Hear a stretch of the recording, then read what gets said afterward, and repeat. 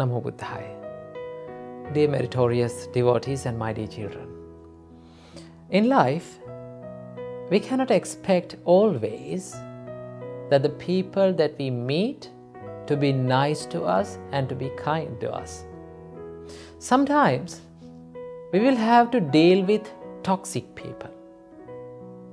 So when you hear the word toxic, it comes to your mind that is something poisonous. Yes, there are poisonous things in this world. Among them, there are dangerous, poisonous things which are known as the words that are filled with anger. Words are something powerful which can kill us and as well as which can heal us. That is why they say words can break you as well as words can make you. So, sometimes we will have to deal with toxic people, the people who are filled with anger, resentment, and hatred. So, you will expect that all the toxic people are in the outer society. No, sometimes toxic people can be found in our family. It may be your husband, it may be your wife, it may be your brother or sister. Sometimes people may become toxic and they may be the people who we love most.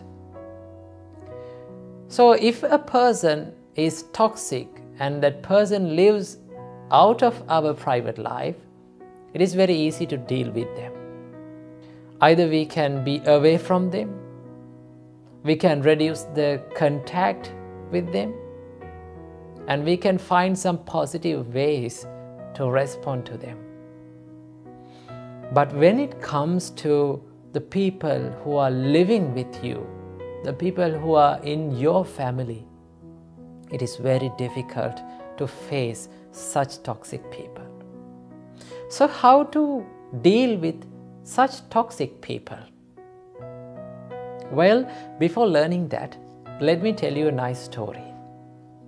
One day, a man came to Supreme Buddha and he started blaming to him. He blasted in front of Supreme Buddha.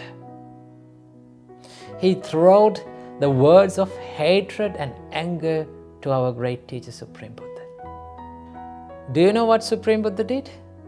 He said nothing and he kept on a perfect and very kind smile on his face throughout this argument.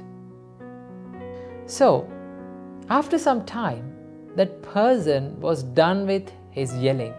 He stopped yelling at Supreme Buddha. Then, at that time, our great teacher Supreme Buddha asked a wonderful question. Supreme Buddha said, Dear young man, I have a question for you. Do you get any visitors and friends when you are living at your home? Then that man said, Yes, I am getting many visitors. I am having many visitors when I am living in home. Then Supreme Buddha said, Well, do you treat them with foods and drinks? Then the angry man said, Yes, I am treating them.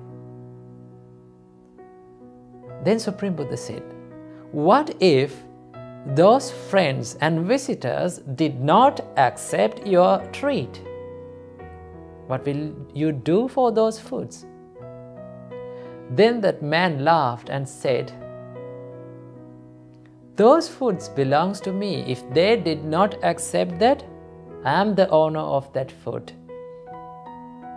Then Supreme Buddha said, Young man, same goes with this argument. You treated me with the words of anger, hatred, and rude words. But I will never accept a single word that was given by you. Do you know what happened after that? The whole life of that man, the person who came to blame our Supreme Buddha, changed to a wonderful disciple. He came under the wing of our great teacher, Supreme Buddha. He became a monk. Finally, he was lucky to become an enlightened monk. So that is how our great teacher, Supreme Buddha, dealt with a toxic person. So we have to follow that way. And here are a few things that we can practice to deal with toxic people. The first thing is to do when you are in an argument, as the first step, be silent. Never say anything, never do anything. Yes, people may yell at us, they may blame at us. All what you have to do is to stay silent and smile. Put a confident smile to your face and smile at them. Make them feel that you are not disturbed.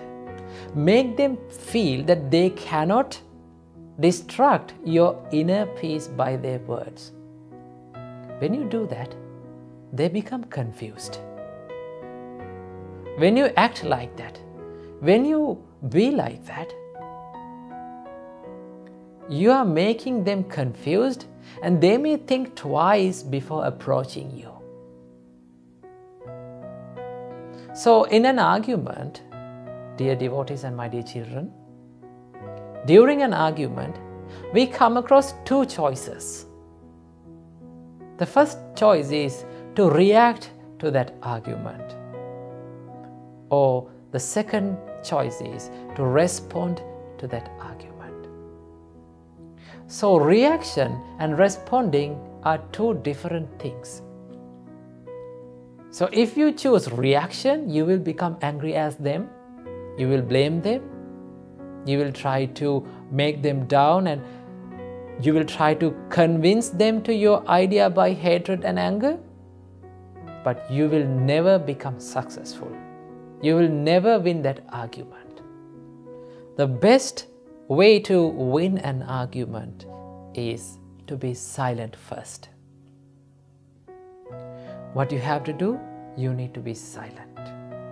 Now, when you're being silent, you will feel that you are defeated, but actually, you are not. So, when you are staying silent, when you are staying calm during an adversarial time and in an argument, you are making your opponent confused and they may no longer yell at you. Quickly, they will stop yelling at you. You are not fooling the argument. You don't put any fuel to this argument. So, what will happen if we did not put any kind of fuel to a fire? That will gradually fade away. Same goes with the arguments. If you are not giving any arsenal, if you are not giving any weapon to your opponent to hurt you, they will never come to argue with you again. Those arguments, those problems will end quickly. So, as the first step, be silent. Here's the second thing that you can do. After a heated argument, your opponent, the person who became angry with you, become tired. Their body become fatigued and they may start to regret about the thing that they have done. And they may start to regret about the words that they have spoken to you. So, what you have to do approach them with kindness. Never blame them. Do not try to convince them at that time. You should approach to them from kindness and compassionate words. Ask them, what is the problem with you? Are you going through a tough time? Are you having any mental stress with you? then they will feel comfortable and safe with you. Then they may regret about the things that they have done and about the words that they have spoken to you. If you approach them with your kindness, if you help them with your compassionate words, that heart will be healed. That heart will be cooled. That fire of anger will extinguish. So, what you have to do, approach to them with, you, with kindness and compassion. Don't speak when you are angry. Don't act when you are angry. And don't speak when another person, when the other person is angry. And don't act when the other person is angry. Stay still and be kind to them. Smile to them. That is the second step that you can do. So here comes the third step. So, after the heated argument, if you approach to them with kindness and compassion, if you heal them with your compassionate words, they will ask for the forgiveness. They will ask the forgiveness from you. So, what you have to do? Forgive them by saying that it is okay, no problem. I can be patient with you, but you have to control your anger. Because if you did not control your anger, your life will be ruined. Your spirituality will be ruined.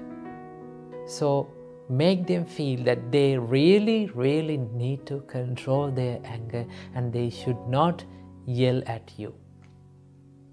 And you need to forgive them. Don't hold on to anger. Don't hold on to resentment. Instead, forgive them. By forgiving, we can free our mind we can live freely and we can live happily. So, these are the three steps that we can use to deal with toxic people. So, as a summary, the first step is silence. You should be silent during an argument. Never feel the argument. Number two, approach them with kindness and compassion because those words, those actions may heal others' broken hearts. Number three, forgive when the forgiveness is asked. If you forgive them, if you do these things, if you practice these qualities, you will be happy forever. Namo Buddhaya.